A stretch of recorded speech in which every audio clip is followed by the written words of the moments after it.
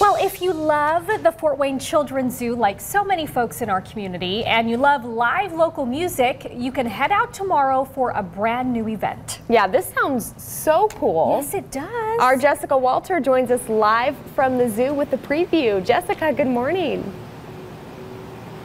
Hey, good morning, Kayla and Julian. Lots of good stuff happening at the zoo this year, including the new Rock and Roar. This is something I've been practicing saying because it's a little bit of a tongue twister for me. Tell me about Rock and Roar. I mean, this is something new this year. What kind of inspired this whole thing? Yeah, so, you know, Rock and Roar is a chance for, you know, parents, adults to come out to the zoo and have just a fun, kid-free evening. Uh, it's, it's relaxing. It's a great time. There's live music. We've got, um, these custom branded cans from Hop River. It's just a fun time.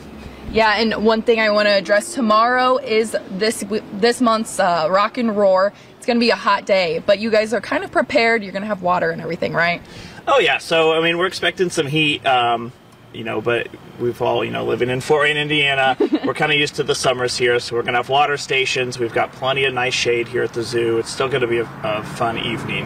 Yeah, for sure. If you're not scared of the heat, don't worry. It's going to be in the evening, so it'll be mostly shaded, obviously.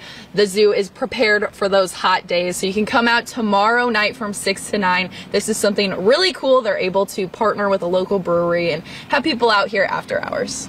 Wow, that just sounds like a blast. It does. All right, Jessica, thank you so much. We'll